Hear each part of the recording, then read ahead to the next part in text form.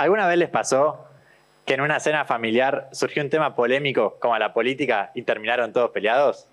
Sí. Bueno, en el 2019 yo tenía 14 años. Estábamos cenando lo de mis primos, la familia completa, cuando de repente yo, inocentemente, le pregunté a mi vieja cómo habían terminado los resultados de las pasos que habían sido la semana anterior. ¿Para qué? En un minuto ya estaba la mitad de la mesa, los gritos sin escucharse los unos a los otros. Este caos, esta falta de, comunicación organizada, provocó que se pelearan y que encima un silencio tenso inunde la mesa. Pero, ¿por qué cuando nos, eh, chocamos con opiniones distintas a las nuestras suele pasar algo como esto? Pero más importante, ¿no hay, nada que, ¿no hay algo que podamos hacer para evitarlo? Sí, yo creo que sí. Eh, para evitar algo, una situación como esta, llena de gritos, de insultos, de gente hablando una sobre la otra sin que se llegue a ningún lado, hay dos cosas que se tienen que cumplir. Dos pilares. La escucha y el respeto. El respeto. Es fácil pedir respeto, pero la verdad es que para muchos en el momento se nos, nos puede ser difícil contener nuestros impulsos. Y más cuando no estamos en desacuerdo y hasta nos parece una barbaridad lo que nos están diciendo.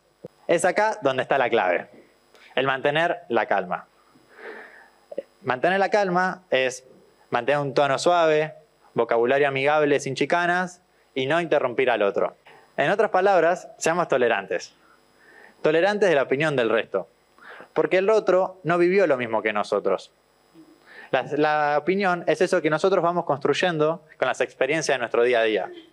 Por experiencia del día a día me refiero eh, lo que vemos, ya sea en camino al colegio o al trabajo, lo que escuchamos en la radio, en la tele o hasta que dicen nuestros familiares y amigos. Y también lo que leemos, lo que leemos en diarios, en revistas y hasta lo que leemos en redes sociales como Instagram o Twitter. Son estos tres tipos de experiencia, lo que vemos, escuchamos y leemos, que moldean hasta la más mínima de nuestras opiniones, ya sea de manera consciente o inconsciente. Como dijo Marco Aurelio, un ex emperador romano, todo lo que escuchamos es una opinión, no un hecho y todo lo que vemos es una perspectiva, no la realidad. Por eso, no hay opinión que no valga, porque cada uno vivenció cosas distintas, cosas únicas. Por lo tanto, la escucha es importantísimo, porque la escucha es esa puerta que de abrirla nos permite descubrir distintos puntos de vista, distintas ideas, distintas opiniones, que de lo contrario desconoceríamos e ignoraríamos. Por lo tanto, todos merecemos ser escuchados. Muchas gracias.